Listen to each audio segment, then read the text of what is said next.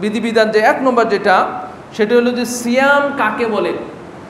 সিয়াম শব্দটি সামা ইয়াসুম সিয়ামা নাও সৌমান সিয়াম শব্দের অর্থ হলো আল ইমসাকু ওয়াত্তারকু ইমসাক মানে হলো দৌড়ে রাখা, নিজেকে নিজের কন্ট্রোলে রাখা, নিজের আয়ত্তে রাখা, নিজেকে বন্দি করে রাখা। আর তার তারকুন মানে ছেড়ে দেওয়া।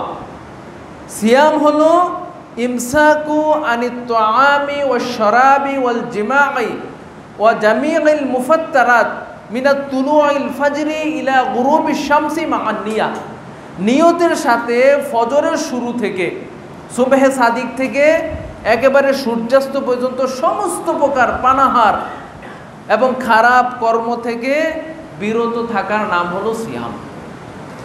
সম্মানিত উপস্থিতি, এই সিয়াম নিজেকে বিরত রাখতে হবে কিছু জিনিস থেকে। নিজেকে অন্যায় থেকে, খারাপ থেকে, খাওয়া পানীয় থেকে, স্ত্রী সহবাস থেকে নিজেকে বিরত থাকার নাম হলো সিয়াম। কেউ যদি অনিচ্ছাকৃতভাবে করে, তাহলে সেটার জন্য আল্লাহ রাবুল আলমী তাকে পাকড়াও করবে না। ইচ্ছাকৃত করলে এগুলি সিয়াম, সমস্যা হবে, সিয়াম নষ্ট হবে। সো এই বুখারির মধ্যে একটা হাদিস আসছে, তেরোশো উনিশশো তেষট্টি নম্বর হাদিস, উনিশশো তেত্রিশ নম্বর হাদিস। আবু হুরের রাজি আল্লাহ তালাহু বলেন যে রসুল সাল্লাহ আলি সাল্লাম বলেছেন ইজা নাসিয়া, তোমাদের কেউ যদি ভুলে যায় ফা আকালা ও সারিবা ভুলে গিয়ে সে পান করল এবং খাওয়া দাওয়া করল। ফালিউতিম্মু সিয়ামাহু, সে যেন তার সিয়ামটাকে পরিপূর্ণ করে। আপনি ভুলে গেছেন খাওয়া দাওয়া করে ফেলেছেন, অথবা পান, কিছু পান করে ফেলেছেন, তাইলে সিয়াম ভঙ্গ হবে না, তার সিয়ামটাকে পূর্ণ করতে হবে। এটা, এর জন্য তার কোনো ক্ষতি হবে না। কারণ রাসুল সাল্লাম বলেছেন কেননা আল্লাহ হাবুল আলমিনই তাকে খাওয়িয়েছেন, আল্লাহই তাকে পান করেছেন। এই জন্য তার কোনো, তার জন্য কৈফিয়ত নেওয়া হবে না। তাহলে আমরা সিয়ামের পরিচয় জানলাম। দুই নম্বর হলো রমজান কাকে বলে? রমজান শব্দের অর্থ হলো জ্বালিয়ে পুড়িয়ে শেষ করে দেওয়া। কোনো জিনিসকে জ্বালিয়ে পুড়িয়ে নিঃশেষ করে দেওয়ার নাম হলো রমজান। রমাজানকে এই জন্য রমজান বলা হয় কারণ রমজান মাস মানুষের গুণাগুলিকে জ্বালিয়ে পুড়িয়ে শেষ করে দেয়। আবু হরেরা থেকে হাদিস আসছে, মিশকাতের প্রথম নম্বর হাদিস, কিতাবুস সলাতের প্রথম নম্বর হাদিস, যে রসুল সাল্লাহ আলি সাল্লাম বলেছেন সলাওয়াতুল খামসা, পাঁচ ওয়াক্ত সালাত, ওয়াল জুমাতু ইলাল জুমা, এক জুমা থেকে আরেক জুমা ও রমাদান ও ইলাল রমাদান, এক রমজান থেকে আরেক রমাদান। মুকাফিরাতুল ইমা বাইনা হুন্না ইজিস্তানাবাদিল কাবাইর। কোনো ব্যক্তি যদি কবিরা গুণা থেকে বিরত থাকে, তা আল্লাহ রাবুল আলমিন এই দুইয়ের মাঝখানের সমস্ত সগিরা গুণাগুলি ক্ষমা করে দেবেন।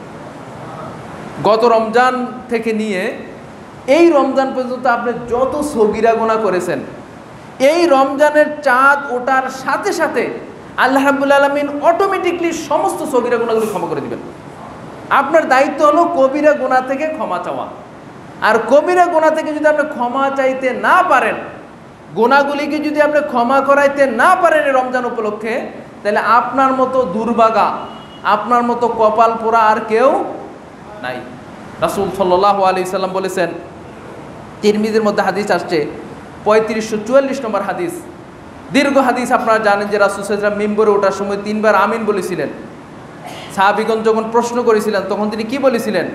যে যে ব্যক্তি পিতা মাতাকে পেল বৃদ্ধ অবস্থায়, একজন অথবা উভয়জন, কিন্তু জান্নাতে যেতে পারল না, সে ব্যক্তি নাক দুলামালিন হোক, সে ব্যক্তি ধ্বংস হোক।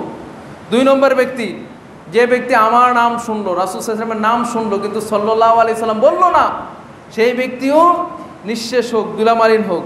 তিন নম্বর ব্যক্তি, রাজুলুন রাজুলুন দাখালা আলাইহি রমাদন, ওই ব্যক্তি যেই ব্যক্তির উপরে রমজান আসলো। রমজান মাস যে ব্যক্তি পেল, সুম্মান সালাখা কাবলা ইউকফারা কিন্তু রমজান চলে গেল, তাকে ক্ষমা করা হলো না। ওই ব্যক্তি, ওই ব্যক্তির নাক দুলামালিন হোক, ওই ব্যক্তি ধ্বংস হয়ে যাবে। তো সম্মানিত উপস্থিতি, রমজান আসছে কি জন্য? আপনার গোনাগুলিকে ক্ষমা করানোর জন্য। কত সুযোগ তারাবির সালাদ পড়লে গোনা ক্ষমা। রমজান রাখলে গোনা ক্ষমা। তারা আপনার লাইলাতুল কদর ইবাদত করলে গোনা ক্ষমা। এবং রমজান মাস আসলে আকাশের দরজাগুলি খোলা, রহমতের দরজাগুলি খোলা, জান্নাতের দরজাগুলি খোলা। খোলা মানে আল্লাহ হাবুল আলমিন রমজান ব্যতীত অন্যান্য দিন অল্প সময়ের জন্য আকাশের দরজাগুলি খোলেন। যখন সূর্য হেলে যায়, তখন আকাশের দরজা খুলে দেওয়া হয়। যখন রাতের তিন ভাগের দুই ভাগ হয়, তখন আকাশের দরজাগুলি খুলে দেওয়া হয়। কিন্তু রমজান মাস যখন আসে, তখন চব্বিশ ঘন্টায় আকাশের দরজা খোলা। আপনি যখন ইচ্ছা তখন আল্লাহকে চাইতে পারবেন। এই জন্য রমজান পুরোটা মাস আল্লাহর কাছে দোয়া কবুলের সময়। শুধু ইফতারের সময় না, আমরা তো অনেকে ইফতারের সময়টাকে বেছে নিই। ঠিক আছে, এইটাও সময়। কিন্তু ইফতারের সময়, সেহরির সময়, তারাবির সময়, দিনে, রাতে, সকালে, বিকালে চব্বিশ ঘণ্টা আল্লাহ রাবুল আলমিন ক্ষমার জন্য প্রস্তুত আছেন। এই জন্য আল্লাহ রাবুল আলমী যেহেতু সগিরা গুণা আপনাকে অটোমেটিকলি ক্ষমা করে দিচ্ছেন। আপনার কর্তব্য হলো কবিরা গুণাগুলি ক্ষমা করিয়ে নেওয়া, তাওবা করা, তাওবা ইস্তেকফার করা, যত গুণা করেছে আল্লাহ তুমি ক্ষমা করে দাও। এইভাবে তাওবা করে আল্লাহর কাছ থেকে ক্ষমা নিতেই হবে। কীভাবে নিবেন এটা আপনি ভালো জানেন। আপনি ক্ষমা নিতেই হবে রমজানে। এই প্রতিজ্ঞা করেন যে আগামী রমজানে আমি গুণা ক্ষমা করাবই করাবো। আমি দুর্বাগাদের অন্তর্ভুক্ত হব না। আল্লাহ আমাদেরকে কবুল করুক।